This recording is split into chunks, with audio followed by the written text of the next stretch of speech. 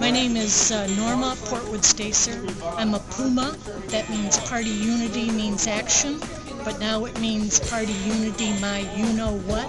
I worked on Hillary's campaign. I'm connected to millions of other Hillary Democrats, approximately 4.5 million nationwide campaigning for McCain and Palin. Both Hillary and McCain are moderate Democrats.